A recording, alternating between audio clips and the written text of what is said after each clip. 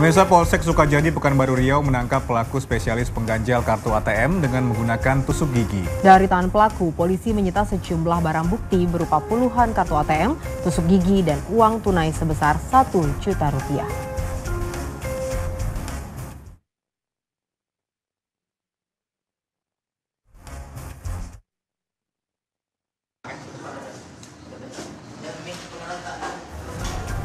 Pelaku spesialis pengganjal kartu ATM berinisial DW ditangkap di sebuah hotel di Pekanbaru setelah polisi mendapat laporan dari seorang korban yang mengalami kerugian akibat kartu ATM-nya terganjal.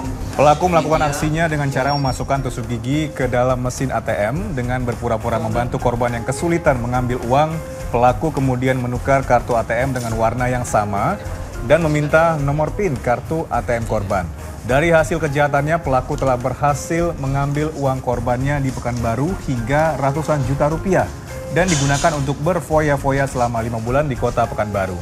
Pelaku juga mengaku telah beraksi di 11 lokasi dan provinsi lain.